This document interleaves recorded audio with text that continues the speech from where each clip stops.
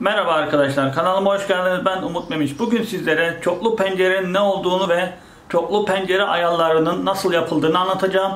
Haydi videomuza geçelim. Evet arkadaşlar çoklu pencere ayarlarının ne olduğunu anlatmadan önce sizlere çoklu pencerenin ne olduğunu anlatmak istiyorum. Çoklu pencere cep telefonumuzda ve tabletlerimizde iki veya daha fazla uygulamayı aynı anda kullanmamızı sağlayan bir özelliktir arkadaşlar. Ben bu videoyu çoklu pencere özelliğini Samsung cihazlarında yapıyorum arkadaşlar. Siz de bu özelliği Samsung tabletlerinizde yapabilirsiniz. Aynı zamanda arkadaşlar Huawei, Apple, Oppo gibi diğer marka cep telefonu ve tabletlerinde kendisine göre çoklu pencere ayarları özelliği var arkadaşlar. Samsung için yapılan çoklu pencere ayarları bu şu şekilde oluyor arkadaşlar. Mesela diyelim ki Facebook'a girdik. Ya da arkadaşlar Instagram'a girdik. Ya da arkadaşlar YouTube'a girdik. Şimdi arkadaşlar ana ekranda 3 tane pencere açıyor. Burada arkadaşlar hangi pencereyi küçültmek istiyorsak, çoklu pencerede kullanmak istiyorsak, hangi uygulamayı çoklu pencerede kullanmak istiyorsak o uygulamanın üzerine e, sağ köşede bulunan çoklu pencereleri kapatma uygulaması tuşu var arkadaşlar. Oraya basıyoruz. Bastığımızda çoklu pencerelerde hangi uygulamayı kapatmak istiyorsak onlar karşımıza çıkıyor. Geçmişte kullandığımız uygulamalar. Bu uygulamaların üstünde amblem var arkadaşlar. YouTube amblemi ya da Instagram, Facebook gibi hangi uygulamayı kullanmışsak onun amblemi karşımıza çıkıyor. Oraya tıkladığımızda arkadaşlar açılır pencere görünümünde aç yazısı var arkadaşlar. Oraya tıklıyoruz ve uygulamamız açılır pencere görünümünde açılıyor arkadaşlar. Burada diyelim ki kendi videomu açayım telif olmasın diye. Açtığım zaman arkadaşlar ee, şu şekilde bunun üzerinde küçük pencerenin üzerinde mavi çizgi var. Oraya tıkladığımız arkadaşlar Soldan sağa doğru gidelim. Soldaki işaret arkadaşlar şuradaki yazıları büyütmeyi yarıyor. Sonra arkadaşlar e, geri alıyoruz yazıyı.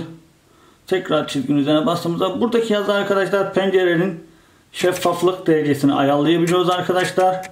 Mesela şu anda katı olarak pencere görülüyor ama şeffaflığını düşersek pencere görünmüyor arkadaşlar. Yani uygulama ana ekrandaki uygulamaları görebiliyoruz. Pencereyi, uygulamayı göremiyoruz. Kullanmış olduğumuz uygulamayı göremiyoruz.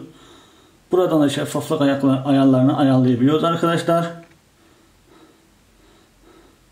Tekrardan bastığımızda pencereyi tek bir ablem şeklinde küçültebiliyoruz. Bu şekilde kullanabiliyoruz arkadaşlar. Ya da tekrar bastığımız zaman büyük ekran haline getirebiliyoruz uygulamayı. Ben bunu arkadaşlar açılır pencere görünümünden videomu açıyorum arkadaşlar. Herhangi bir YouTube videomu açıyorum. Açtığımız zaman arkadaşlar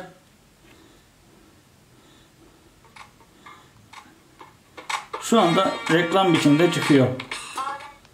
Küçük pencereyi arkadaşlar e, şeyin kenarından uygulama küçük pencerenin kenarından aşağıya da yukarı doğru çekerseniz, kırparsanız sayfayı, uygulamayı küçültebiliyorsunuz ya da büyütebiliyorsunuz boyutunu.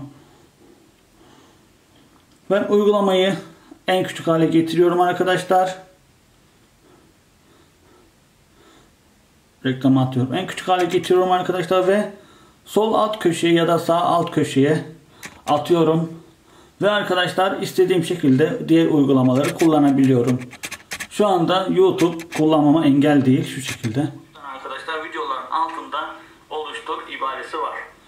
Hem YouTube'daki videolar siz şarkıda açabilirsiniz ya da başka bir şeyler de izleyebilirsiniz.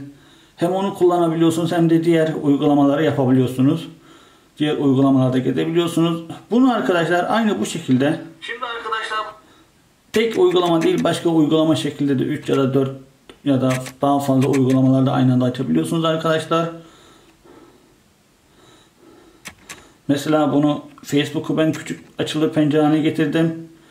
Ya da arkadaşlar Instagram onu da aynı şekilde açabiliyorsunuz.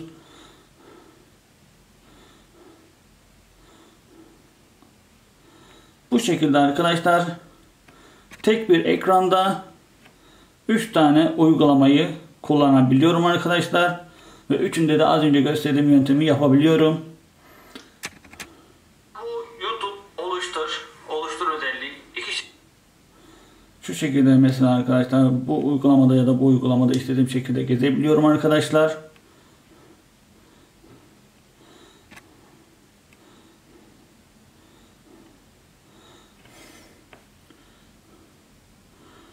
Siz de benim göstermiş olduğum yöntemle çoklu pencerede istediğiniz uygulamaları aynı zamanda aynı anda kullanabilirsiniz arkadaşlar.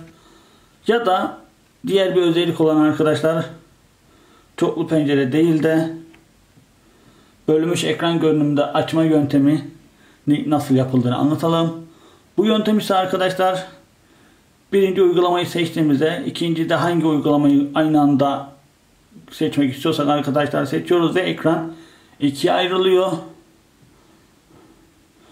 Burada arkadaşlar önceki kullandığımız uygulama üste geliyor.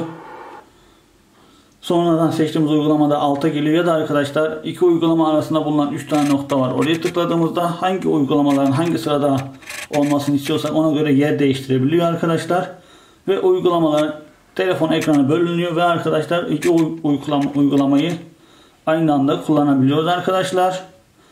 Bunu Edge panellerinde olmasını istiyorsak arkadaşlar iki uygulama arasında bulunan 3 tane nokta var. Oraya tıklıyoruz.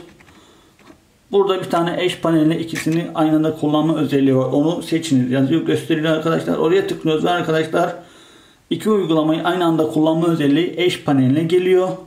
Bir kısa yol olarak geliyor arkadaşlar eş paneline. Mesela iki yol iki uygulamayı aynı anda açma şeysini ben kapattım. Edge ekranını açıyorum arkadaşlar.